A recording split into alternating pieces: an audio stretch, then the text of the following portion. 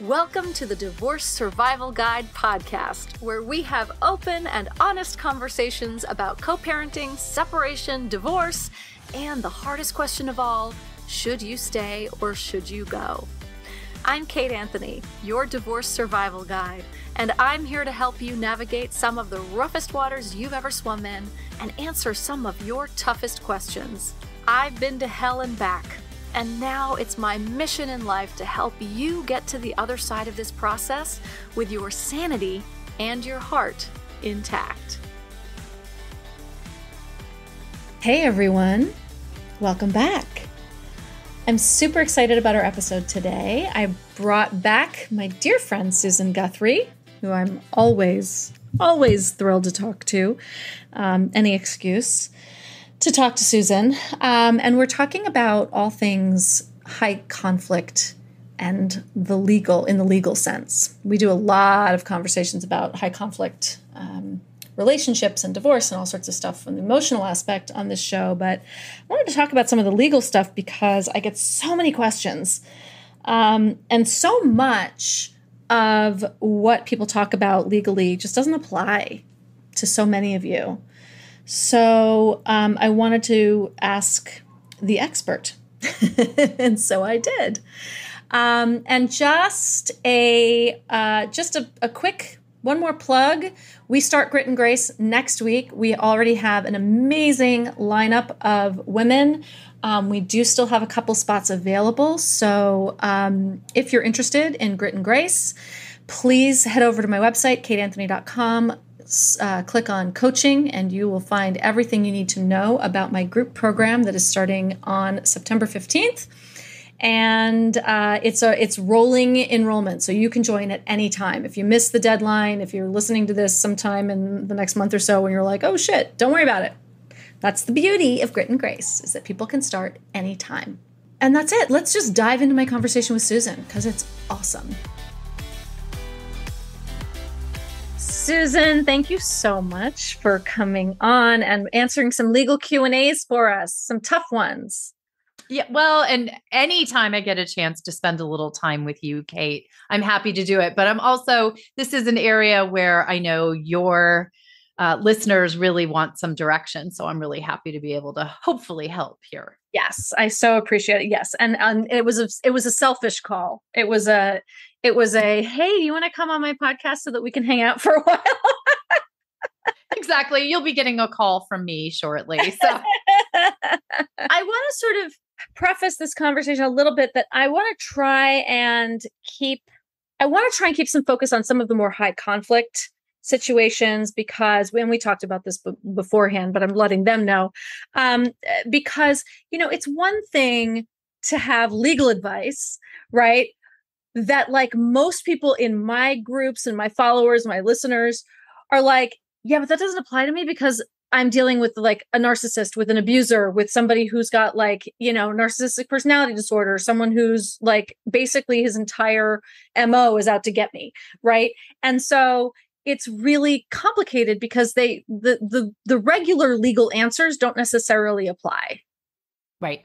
And, and that's very true. And it's incredibly frustrating um, for people because most practitioners and, and I'll say attorneys and, and uh, everybody in, in the field, you know, we're so used to giving the, you know, rote legal answers because that's what we fall back on. That's what the law is. And reality is a lot of the that basic stuff that gives guidelines to the rest of the world doesn't really put rails up around narcissists and high conflict people. Right. And it's really uh it's challenging. Yes. It's really Which is why yeah, I think people are struggling and looking for information and find, you know, your podcast and and some of our other colleagues out there because you are focusing in on a very particular group uh, that have gone beyond just two people who can't get along very well and have really gone into that realm of there's at least one person who's going to do everything they can to work outside the boundaries of the law right yeah. the law is not able to rein them in right right and you said something really interesting to uh, that i said uh, before we hit record, you said something interesting to me that I was like, you're going to have to say that all that again once we hit record. So can you say all that again? Remember what it was? I do. I do because this is such a common situation for the professionals, right? Like now I'm going to talk from our side of the fence, somebody who daily has worked for years trying to help people going through the divorce process with a high conflict individual. And the reality is is we're no more magic than you are. And by you I mean the person who's stuck in that high conflict relationship or that divorce. No one taught us and there is no real magic formula. Bill Eddy, I love you. You know, I mean, uh, that's a Biff, formula. Yes. Yeah, that's a formula and it will work within certain constructs and in certain situations, but there is no magic wand or formula that will magically change a, a narcissistic or high conflict person into behaving properly. So it is an ongoing frustrating, difficult process for everyone involved. The tools do not exist in the legal system for for attorneys or the court system to change that bad behaviored person. We they can be punished and they can be like, you know, reined in hopefully if they're if they're even recognized right because exactly so you know that's part of it of course is is is recognizing them um and I think I think that's a really interesting. Uh, uh going back to Bill Eddy for a second, because it because Biff is right. It's not a magic. It's not going to make them not abuse you. It's not. But what it is going to do is protect. Is is do everything in your power to protect yourself. Right. And if anybody doesn't know what we're talking about, we're talking about Bill Eddy, Biff, Biff for Co-Parent Communication, which is a book that needs to be on all of your bookshelves. Um, Susan and I both have had Bill Eddy on our podcasts. So listen, uh, go back and, and find those episodes because um, Biff stands for brief, informative, friendly, and firm. And it you take it away, Susan. Talk about what sort of what what does Biff provide for co-parent communication. Yeah, and and it's truly it's a tool and I love the way that you phrased it. It is a way to protect yourself, right? Nothing about Biff is going to change the communication style of your high conflict person. And that we all know, everyone out there who's listening, you know the communication style of a high conflict person. It's it's abusive it's um constant it's you know epic. long epic, epic right, right? and, and what happens is you get caught up in that communication circle cycle right they throw a lot of blah at you that was what that's a legal phrase by that's the a way. legal blah. Yeah. and and your first response as a human being is to defend yourself to point out all the ways they're wrong and so you you write a novel back to them and all you really do is then perpetuate that conflict cycle so biff is giving you a way to respond to an ongoing behavior of your high conflict person that takes you outside of the conflict cycle. Yeah. It's not going to necessarily stop their onslaught. It's going to stop your participation in it. Yes. Yes, yes. Because what I like to think of is like these communications, these like high conflict, you know, epic emails and stuff like that. Those are that's a fishing line that's just been like thrown out. And the second you answer all the questions and get all the way involved, blah, blah, blah, you have bit the hook. You've mm-hmm. bit the hook and it is embedded in your cheek and you're going to be hell bent, you're going to be hard pressed to get it out. So Biff is a way for you to kind of sidestep the hook, right? Swim by the hook and not get it. Um, have I beaten that metaphor to death yet? Yeah, no, and, but it's such a good one, and and I like actually because the hook hurts. Gosh darn it! Yeah, and so does you know so does being dragged through that ongoing i call it the hamster wheel of conflict right the mm-hmm. the they throw something at you you throw something back that's well meaning and factual and correct and truthful and all those bizarre things and then they come back at you with more blah to use my legal phrase right right it will never stop and so the only way to protect yourself is to take yourself out of that. And that's what brief, informative, friendly, but firm can do. That's right. But it will not change that high conflict person. No. That's what I, I think all of the tools we can give people and all of the tools that attorneys can learn, mediators can learn, judges can learn, they're all managing a high conflict person or that particular incident of that high conflict person. Yeah. Nothing's going to change that that high conflict person will go on and continue to be high conflict. That's right. That is who they are.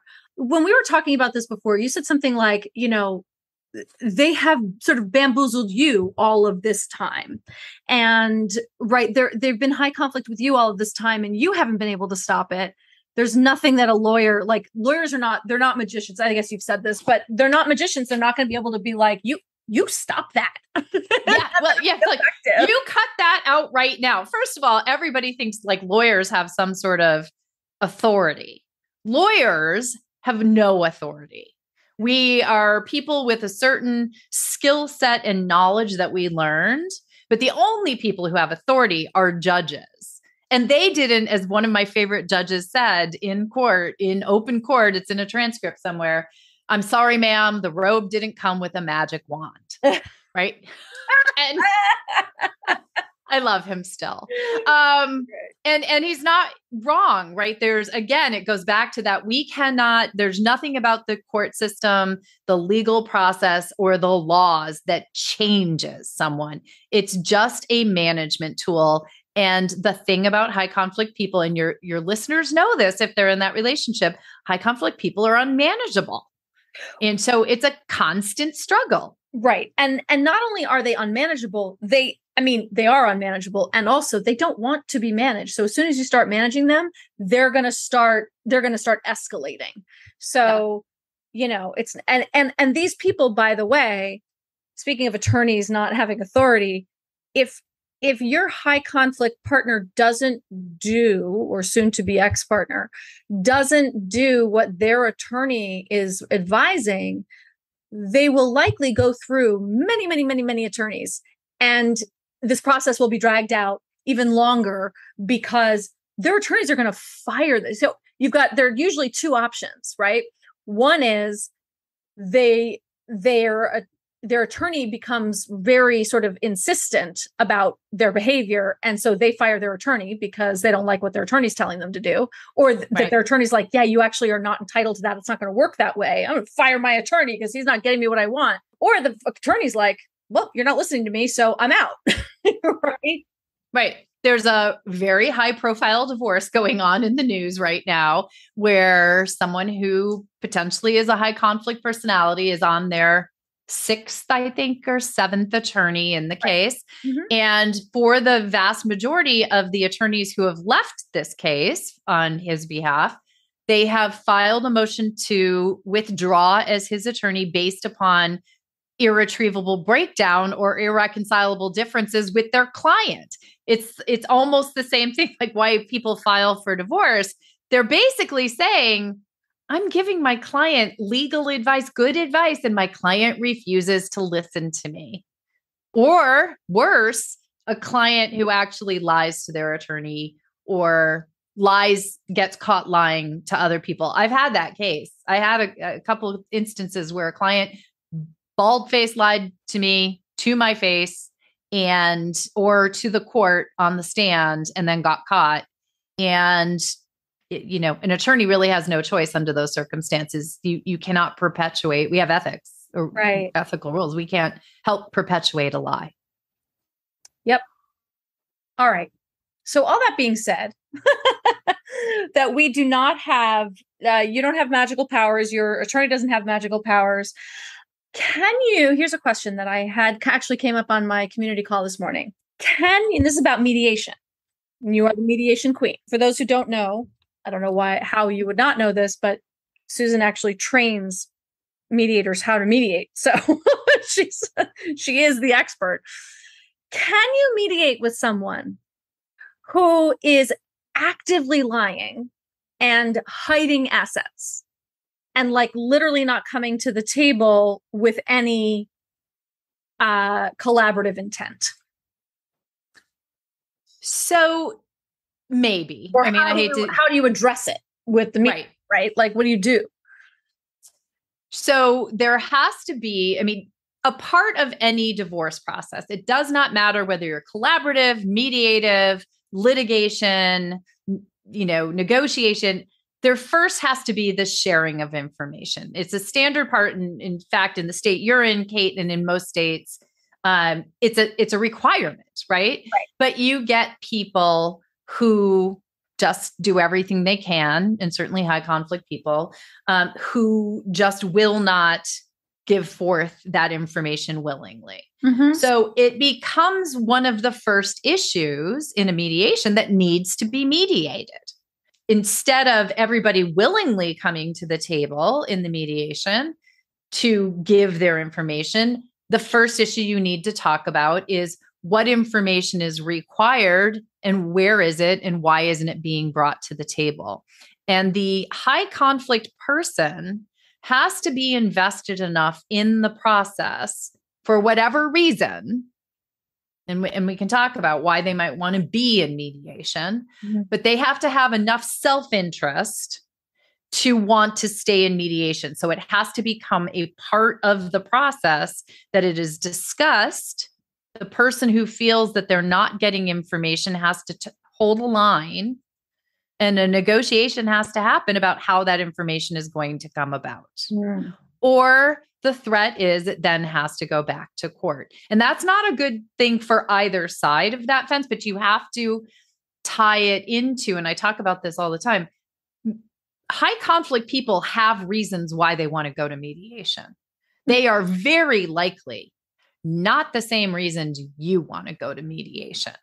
And a mistake that almost every person makes is thinking, well, I want a, amicable divorce. I want to have a less toxic divorce or our kids do well. They think those are the reasons why the high conflict personality is there. That absolutely has nothing to do with why they are there. And you need to acknowledge that and understand what their incentives are so that you then can remind that or make that a subtle part of the conversation. And it's usually things like saving money, saving face. Actually, that's a big one, Big one. Big one. especially with our narcissists, right? They want to look like a good person who, to the outside world, well, I'm trying to mediate with her. We're in mediation, but they've got to be in mediation to be able to say that. So, um, whatever that incentive is, a lot of them also think that they can manipulate the mediator and that they can manipulate you more easily in a mediated setting Mhm. as opposed to a courtroom where there's actually someone who has authority, Mhm. right? A judge finally has authority.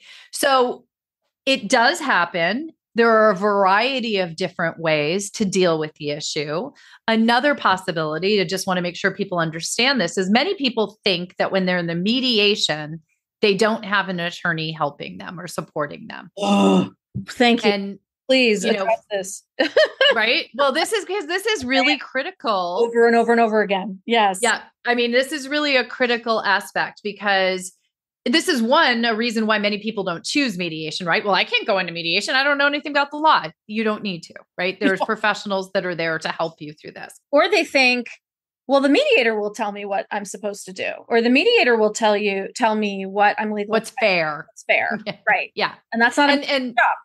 it is not a mediator's job. Even a mediator like me who's an attorney and knows the law, I can't give you legal advice because I'm your neutral mediator.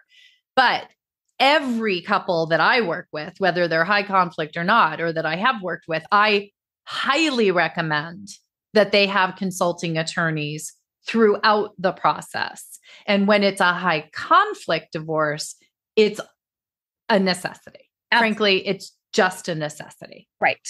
Yes. Um, So, so explain the difference for people who don't know. Like, what does a what does a consulting attorney do, and how do they differ from your mediator or an attorney that you're you're working with? who's litigating for you or Mhm, Yeah. mhm. uh, so a consulting attorney is really a- an as needed resource and support for the individuals going through divorce so your mediator and again many mediators do have a legal background many of us have, are still practicing attorneys in, in some jurisdictions but a mediator's role is to be neutral That's a, a critical part of it, right? They're supporting both parties with understanding the process, what the issues are, a general understanding of the law in a neutral sense, but then to really explore the different ways that all these puzzle pieces can get moved around, right? But the law has an impact on the decisions you might be making. And it's completely understandable that you may want to ask an expert, a lawyer, what a good path for you would be or what the the right advice might be legally about certain issues.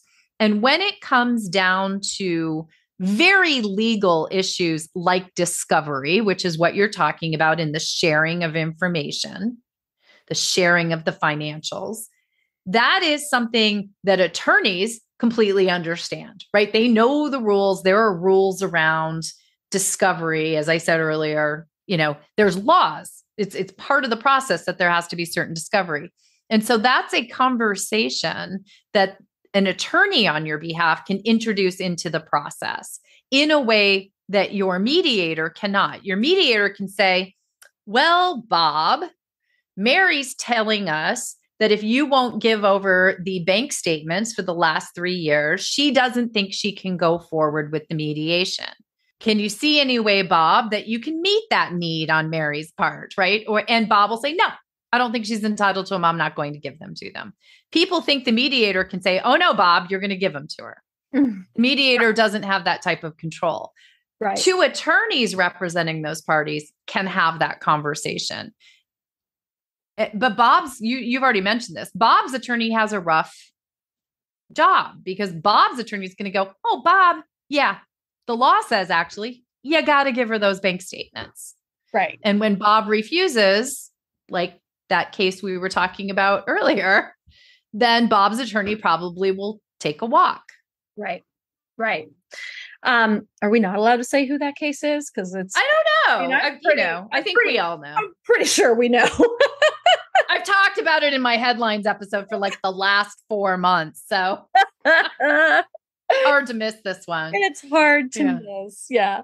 The consulting attorney's like your coach in the ring, right? Who you're going to like, who's going to be like, no, this is the play you're going to do next because this is how this works or this is what you're entitled to, whatever. And then you get back in the ring with the referee and, right. You know, oh, I love it. If it's boxing, it's a boxing metaphor now, right? So we went from fishing to boxing, but it's perfect. Yep. yep right yep. and then well and, keep in mind your attorney can either be helping you outside the process in the corner yeah. so to speak uh-huh. blotting your forehead and sprinkling water in your mouth or they can actually get in the ring with you right right and they can exactly. come to your mediation sessions and mm-hmm. sometimes with a high conflict personality involved that that will be a part of it. And the other thing I don't want to lose track of one thing for people because and Bill Eddy will say the same thing. He actually does a high conflict mediation training for us and and um, it's wonderful. But one of the things that's you know I really want to set expectations for people.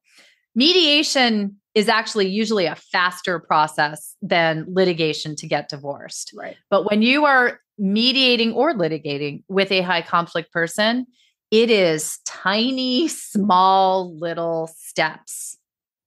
I'm so glad you said that. I'm so glad you said that because I have people who are like, we've been mediating for like, for, you know, forever. And, you know, you, you, like, yeah. yeah. yeah. And you want it to be right because you want to cover the minutia.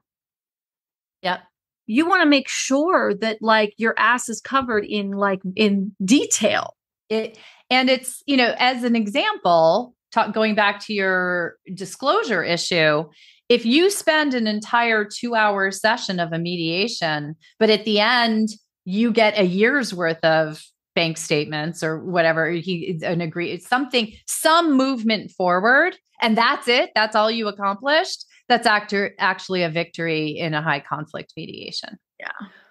And and it's frustrating, but anyone who thinks it's going to move faster in a court system is actually I know it seems like it should.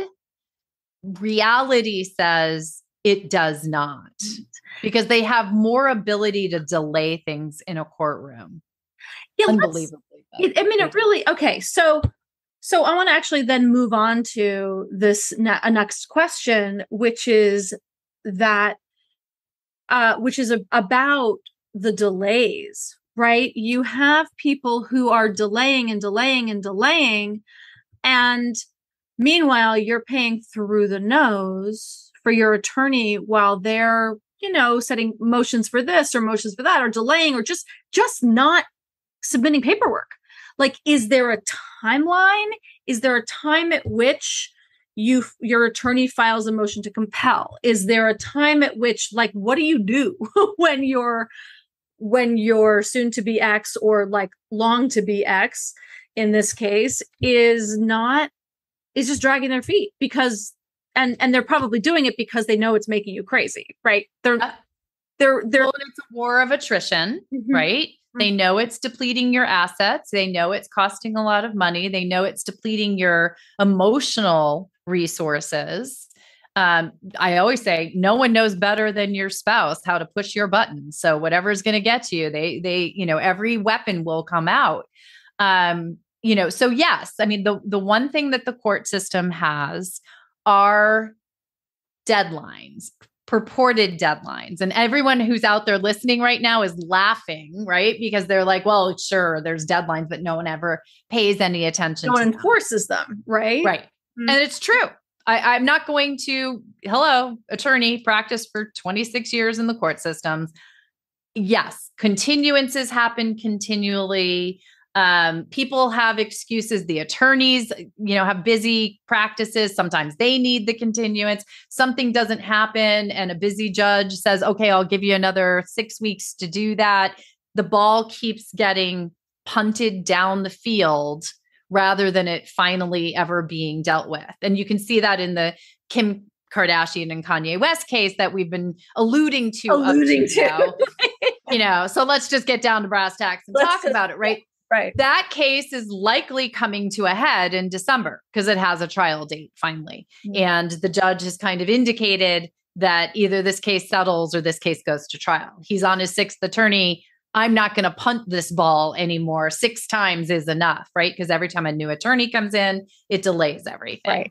Right. Um, and at a certain point in time, if someone hasn't provided information in a courtroom that they were supposed to, then the court is allowed to take a negative inference from that as evidence, right? Like you were supposed to give three years of bank statements, you didn't do it. Since you didn't do it, we're going to presume whatever your wife has to say about the finances is the truth because you're not setting it up in another way. Is that always helpful? Not always. But it, there there are certain final like we can finally move forward but the court system being an overburdened underpaid overworked system if you give a jurist a, a judge a, a, an option to punt down the road they're usually going to take it. Yeah. Yep. And they don't it, to go back to what we talked about at the very beginning they don't always have the answers to dealing with these people either and don't always recognize what's happening because we in a courtroom see people come in all the time spouting all kinds of bad things about each other every single day over and over and over again. I have spent so many hours in courtrooms I can't begin to tell you over my 30 plus years. And you don't know, the judges don't know who's telling the truth. Right. It's it, it's hard work yeah. to be that person. Yeah. Yeah. Because they're just coming in at the end, right? They haven't been there all along and they don't they don't know, you know, his tells or whatever, right? They're, right.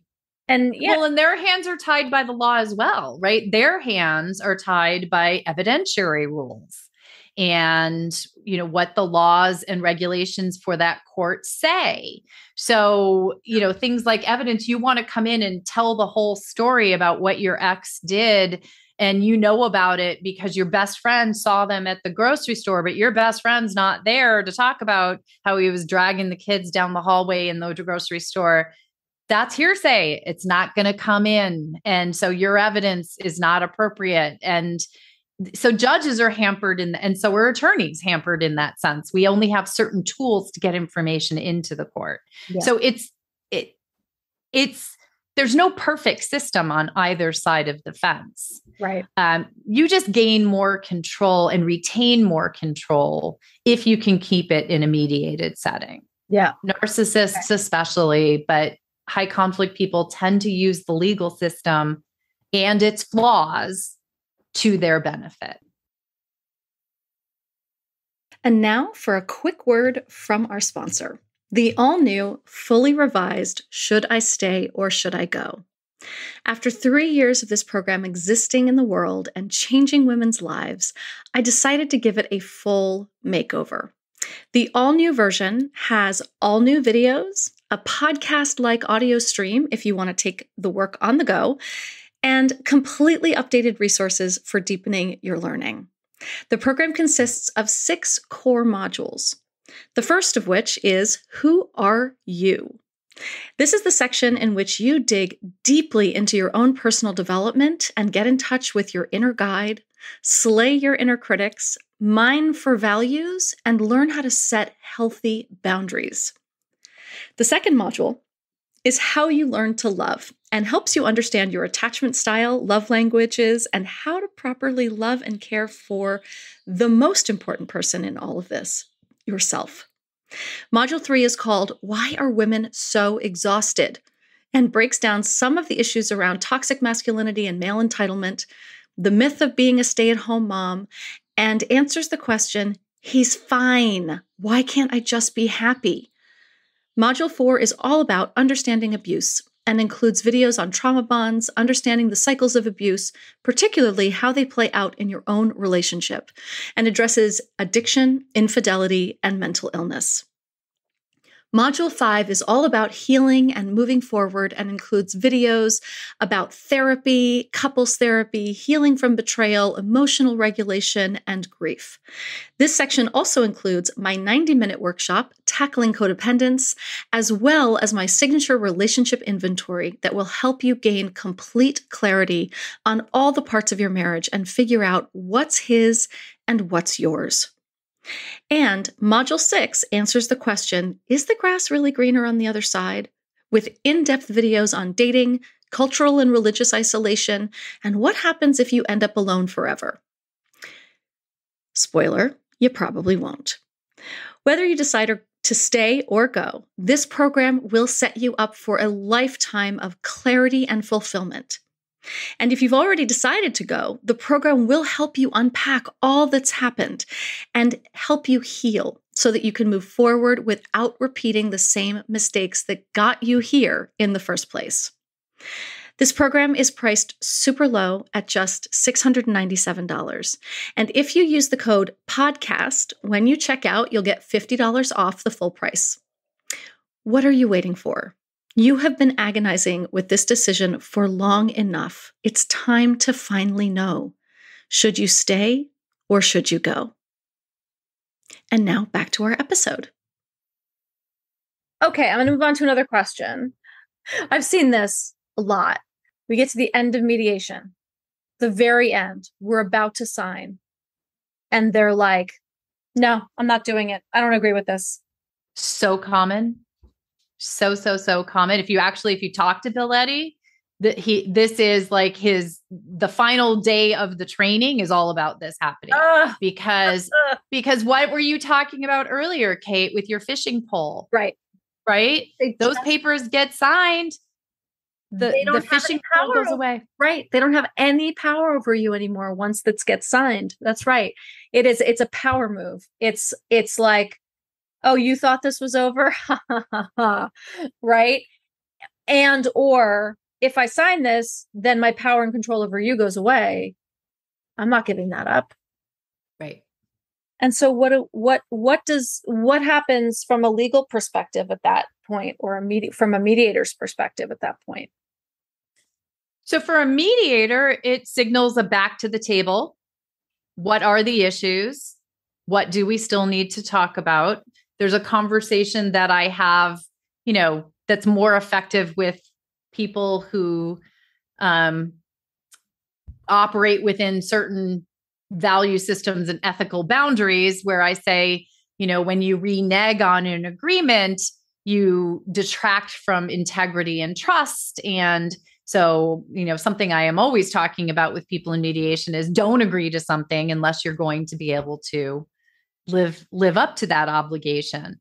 Um, so it signals a return to the table. You know, mediation, as long as, you know, we kind of look at it as a day in mediation is a day out of court.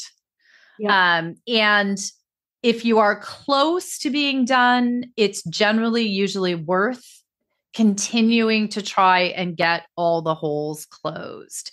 Because the other thing we know about high conflict people is it's never over. No, it's never over.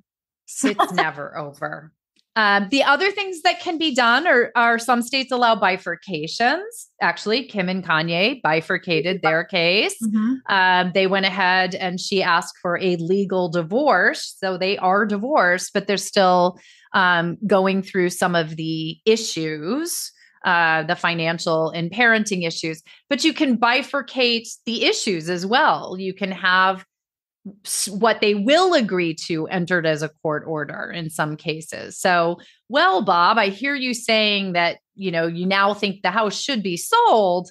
Is there anything else that though still is is durable in what you had agreed to or what we thought had been created? Yeah. Um, is the child support, is the parenting plan, is something in a place where we can put that before a court and try to keep it moving forward? Okay, so you can kind of you can pull things out and have the have the judge rule on those things. So that is now set. And then we're going to do this and that will be set. And so yep. you can you can pull it apart like that. And it's not ideal because a lot of these pieces can be intertwined. Right. But nailing down an agreement can be worth taking things out of order like that. Yeah. Um it's it's it's difficult you know and and again i, I hate to say this because i know everyone wants the magic bullet or the the special formula. And you know divorce is you'll hear it on all of our shows. Divorce is hard but divorce with a high conflict person is a whole different kind of purgatory. Yeah.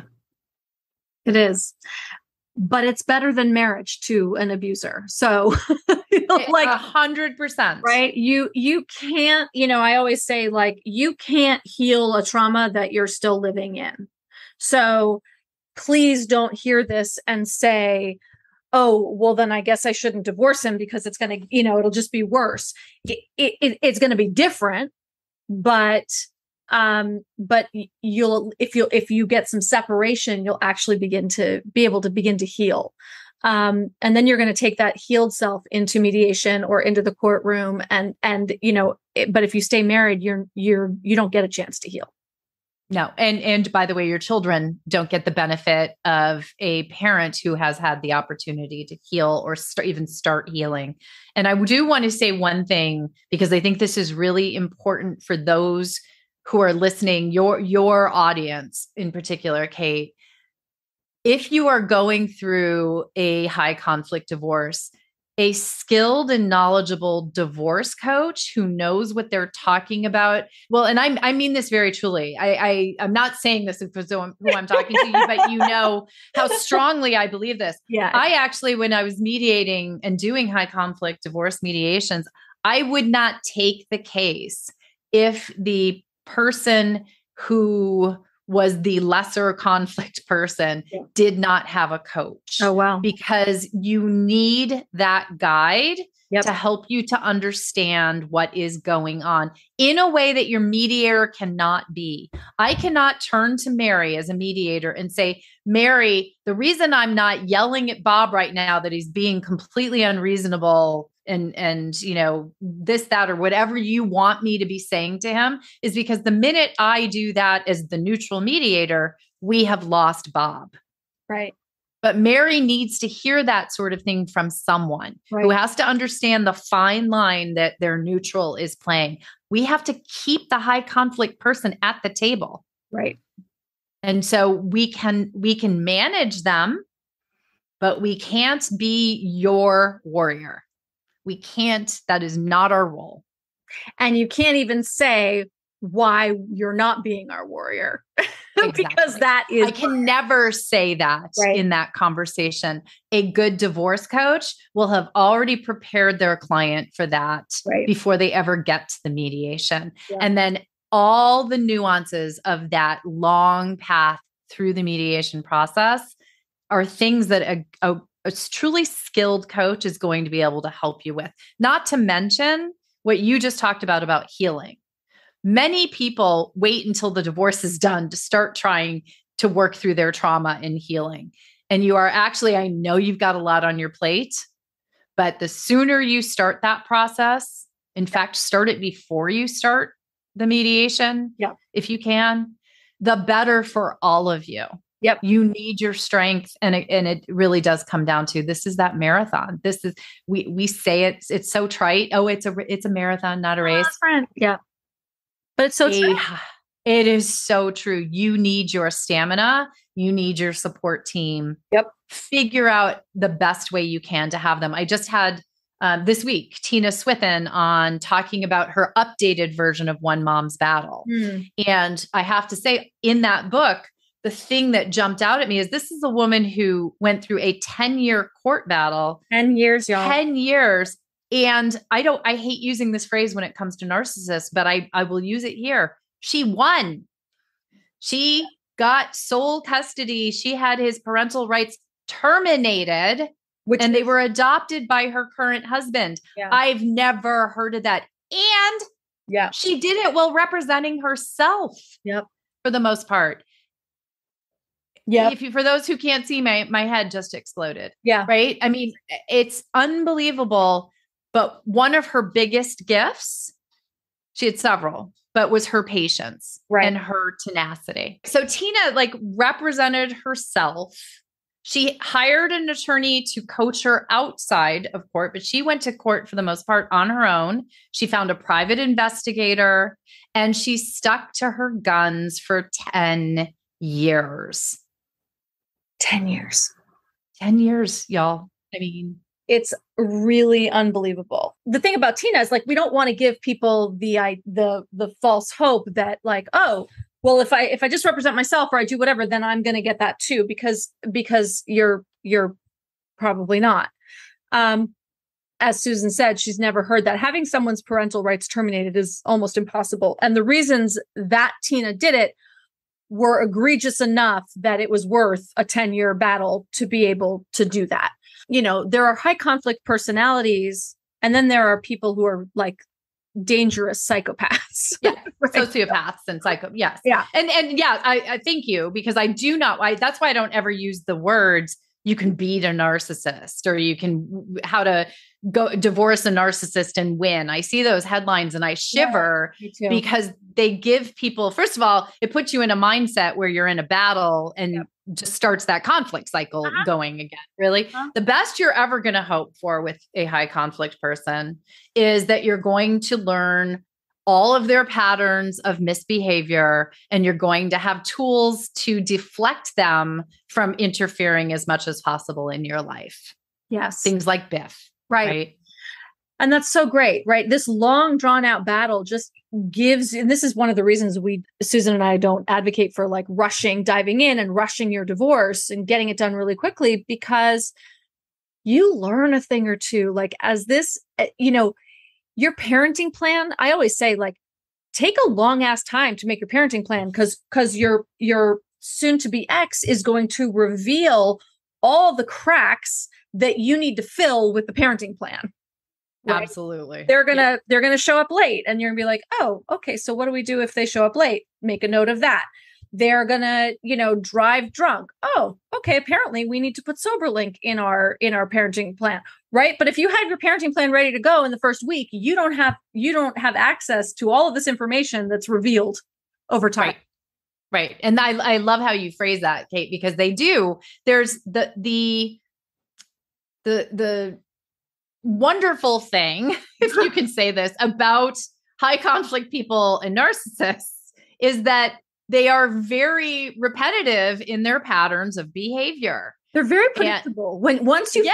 figure it out you're like well, oh, and also and they're very they're very predictable once we like we know like Right. you know, we have because I've because I see it over and over and over and over again. I'm like, okay, well, they're probably going to do this next, and then my clients are like, I can't believe you called that. He totally did that, and I'm like, yeah, of course he did. they're all they're all the same. It's amazing. Well and that's why you can you know you that's why a book like bill's books um splitting or some of his other you know books uh, we have friends who have written books. I mean you know that's why those can actually be really really helpful. Yes, but what you need to do is take what's in there and actually start watching what your ex is doing yes. and taking note of it. Yep. Because you will see patterns in it and you will see things that you're like, oh, you know what? This is when he's going to start telling me that I'm making it all up. Or this is where he's going to start saying, I'm the one who showed up late for the the drop off or you know all the different the gaslighting and the Uh-huh. the trans, you know transference all the different things they're going to do All of it. because they do them all of them, yes all of them, always. knowing what they're doing and then having a skill set to know how to respond to it or not respond right? Biff is a way to respond but bill even will say sometimes you just don't respond just at all. don't respond. You don't respond.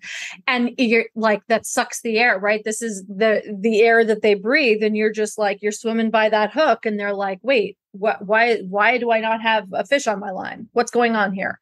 It's always worked before that's right and i think it's a you know one of the things that's really hard for people to wrap their head around right is that narcissists high conflict people abusers whatever we want to call them there's a whole laundry list um they are very strategic in in their sort of power plays and it's really hard for someone especially an empath or and or a highly sensitive person who are usually the victims of these people it's really hard for us to wrap our brain around strategy like that i have to strategize with this person. Like because we don't come from that mindset that's it but but these people operate very differently in the world from the way we do. And the most dangerous thing that we can do is assume that they operate like we do. And so we have to get into a more strategic mindset when communicating with someone like this um, which is hard for us to do but it but but it's it's necessary right? Because we try to implore we're like we try to sort of you know appeal to their empathy or but they don't have it. No. They don't have it right? We try to you know beg them to just but why would you do this when our kids and blah blah they don't care. They're just trying to win you know to, right. Right. they're Yep. trying to win Yeah. and that's all that matters Uh-huh. really That's right. and yeah this goes back to what we talked about a little bit earlier where you know i was saying that we think they're coming to mediation for the reasons that we are coming to mediation um, and it and it's just not and the hard part for people I, I really think it's important for people to grasp what you're saying here is you know that they see your empathy or your emotions as a tool to use against you. It's a weapon that they can use against you and they know how That's right? They are very skilled at it and this is you're not their first time at this rodeo in most cases right? Your narcissist didn't just suddenly become one when they met you. Right right. And so they they know in general how to manipulate people and and they are. I, this strategy aspect is something that is very very difficult for people. And this is just another reason why you need a coach and why you need some support. That's right. Because as you said you tell someone oh they did this then be on the lookout for this. And then the next conversation you have is and when they do that here's what you here's do what you're gonna do. I mean i it- right? I it's like i have it i have it all laid out because lord knows i've I've seen it a million times right? We've seen it right. over and over and over and over again. Um and, you know and you have to remember that a narcissist one of the hallmarks of a narcissist just so we so we sort of cover that base is that they behave similarly in all circumstances because this is a fundamental part of who they are, right? So a narcissist will have this exact conflict in their work relationships with their bosses you know at the at starbucks right? They're they're very consistent in their behavior. Um, an abuser who's more you know sociopathic they know when to turn it on and turn it off and neither is somebody that you want to go up against in court because they both they've all but all have the same thing in common which is that they lack empathy um, and they're grandiose and they're in it for themselves right? So um, and a few other things. You were saying like you know this isn't their first time at the rodeo. Like absolutely not. They've they've been doing this all of them have been doing this for years their whole lives. And usually successfully for some period of time. Right because if you're divorcing them you were married to them for long enough that they was successful for a while. And they've probably had other relationships and they've probably had other jobs. I mean some people figure them out faster but this is usually eh, we say, we say they have repetitive behaviors. They have repetitive relationships throughout their lives that that go down these roads. And i'm you know i don't want to 100% villainize here. I, you know people become you know what what they are you, know narcissists usually it's a childhood trauma yes. Yes. that has has led to this awful things very often but unfortunately what it leads to is a person who does not have the same moral boundaries as you do. That's right. So something like lying to achieve their ends is that you would never do is absolutely within fair game for them and in That's fact is a very common tool. What happens is because we know that you know, oh, but he had such a horrible childhood. Oh, but he has all this trauma. Oh, right. We begin to have, we have more compassion for what created the narcissism because narcissists are usually made, not born. Um, mm-hmm. And they're made by their trauma. And so we have more compassion for the trauma that they endured than we do for ourselves, for the trauma that we are that we are enduring repeatedly and repeatedly and repeatedly. Right. We got to switch that around, right? Yes, we can have empathy and compassion for their wounding while also taking care of ourselves.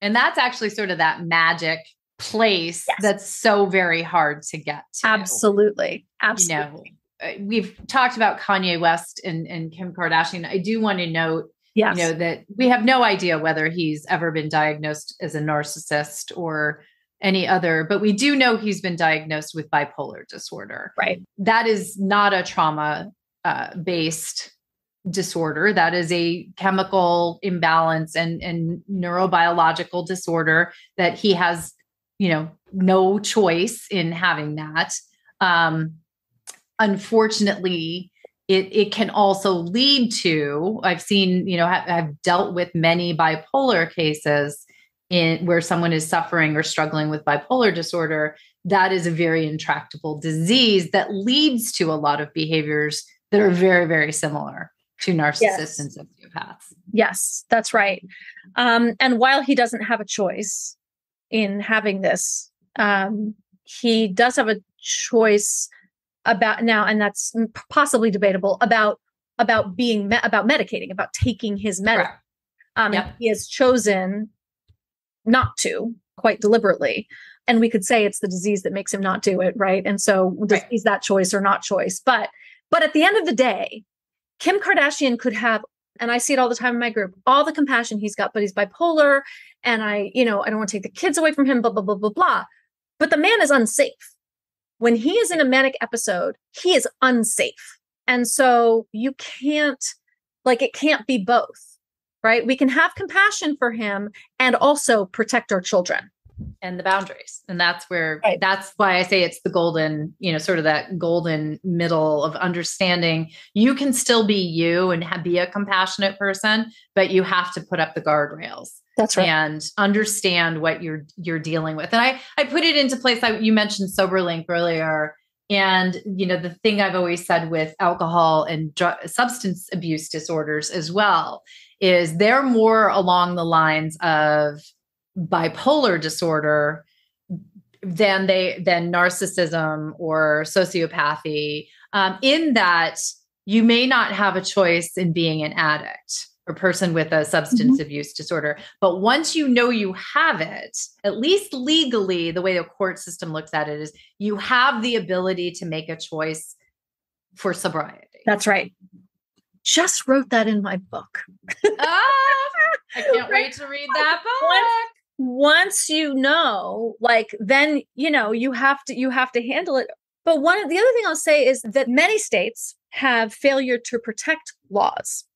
Um, Oklahoma has the worst ones, and will sometimes there are women that who have been incarcerated for life for failing to protect their children from their abusive spouse, partner, whatever, even though they were the victims themselves of the same abuse and the reason that women you know it's like it's like why don't they leave on steroids it's yeah. oh you didn't leave and your children got abused because you were being abused and you know your head is completely twisted um, by the abuse but you didn't leave you didn't protect your children so you're going to jail for longer than the abuser the reason i say that right is that if your spouse if you have so much compassion for your spouse that you're either staying with them or you're not protecting your children because oh but he's just sick and it's his childhood wounding and blah blah blah blah blah you could actually be liable for that.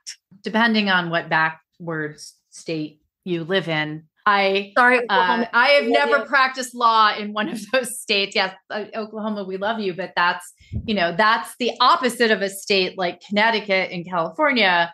You know, California is you know Kayden's law. Connecticut just added coercive control yes. to their definition of abuse in a, in a relationship. Yes. This, the polar opposite. We are getting somewhere with that. We're getting somewhere. We are, thanks to the work of like Dr. Christine Cocchiola and, and you know some of our favorite guests. But unfortunately, we live in a world that does not understand abuse, domestic abuse, domestic violence, coercive control, whatever we want to call it, in this intimate partner abuse and violence. To blame someone for their own abuse and for the abuse of the children as opposed to the perpetrator of the abuse. It puts us in a world where but where abortion's no longer right.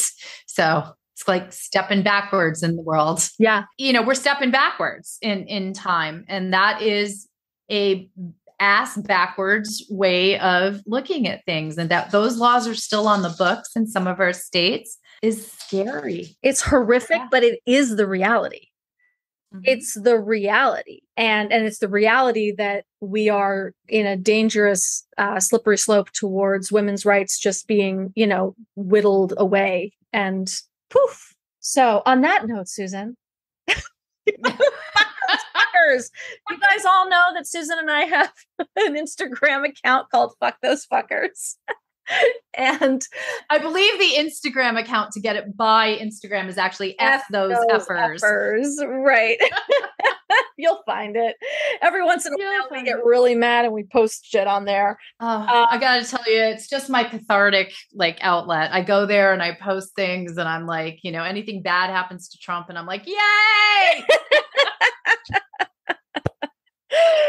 oh my god, that's another episode. Speaking of yes. speaking of high conflict narcissists, um, sociopaths uh, who do the same thing over and over again. over and over and keep getting away with it. All right. Susan, thank you so, so, so much. Um, everyone, don't forget, you know, Susan has her amazing podcast, Divorce and Beyond. Go check that out um, if you don't already. I mean, I'm pretty sure we basically share the same audience. I love you. And where else can people find you? You know, the best place these days is at the training academy, mostynguthrie.com. And uh, if you are a professional out there and want to start adding to your toolbox, including that high conflict mediation training with Bill Eddy, come on over and check out the website. We have a lot of amazing trainings to help you help the people that we're we're talking to on these show, our shows. Yes. Thank you, Susan. Thank you, Kate. Thanks for tuning in to another episode of the Divorce Survival Guide podcast. If you like what you hear, head on over to Apple Podcasts or wherever you listen in and leave me a review.